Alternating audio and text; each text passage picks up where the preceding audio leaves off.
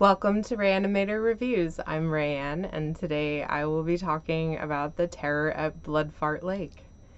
Never thought I'd say those words all in one sentence. Uh, it is a 2009 movie. It's directed by Chris Seaver.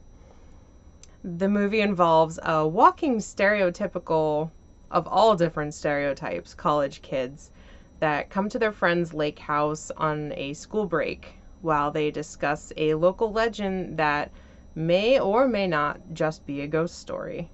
And then the happenings from there. So, my likes. The methods in which people are dispatched are super creative. There is always humorous elements present, pretty much no matter what's going on in the movie. And this might actually be the first movie that I've seen a killer wield corn cobs as weapons. So that was definitely interesting. I enjoyed that.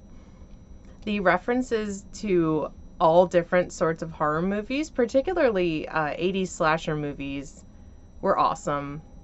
It really made me feel like this movie was kind of a love letter to the genre and definitely to the fans. So I felt like it was this inside joke that I was also a part of because I was like, oh, I get that reference too. Like all these references I would make. And I really enjoyed that. So, with this director, it seems like there's a theme to have a very entertaining dialogue that's full of sexuality, sexual references, body functions, as well as running jokes, and seeing more and more of his work I feel like I'm kind of included in the jokes, which is fun, and the dialogue still is pretty gross, but very, very well thought out, and I appreciate that. Um, my dislike. At first, I didn't quite get the correlation between the one owner of Fright Rags being portrayed in the movie. So I was a little bit confused at first, and then when I kind of looked into it more, it made sense. They did give special thanks to the movie, and it did kind of prompt me to go check out Fright Rags website because I hadn't been there in a bit. So that worked. Uh, I do give the movie a 4 out of 5. I did really enjoy it.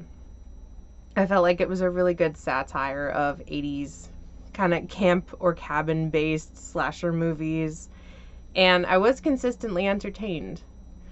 I found this on Amazon Video.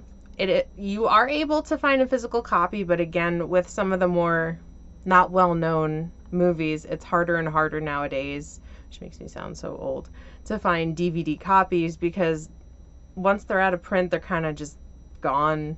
So you have to really track them down, which can be a pain, but who doesn't have Prime though? Prime is amazing. I know I've said that a few times, but I love Prime. So, have you guys seen the movie? What did you think about it? Did you get the same, you know, satisfaction like I said with a lot of the director's other work. I got a really Troma vibe out of it, and I really like Troma, so I really enjoyed it.